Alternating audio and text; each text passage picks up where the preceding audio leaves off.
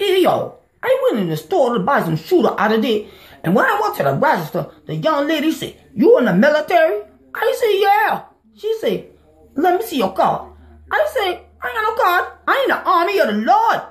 She just look at me and tell me that ain't gonna work. Man, please. The army of the Lord is what's up than the Sam army.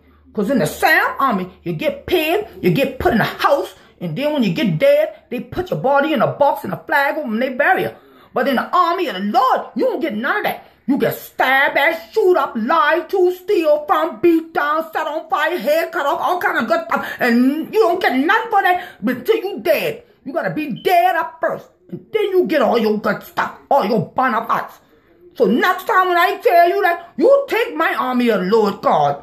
I ain't got no card, but I ain't army of the Lord. All right now. Me my 10% discount.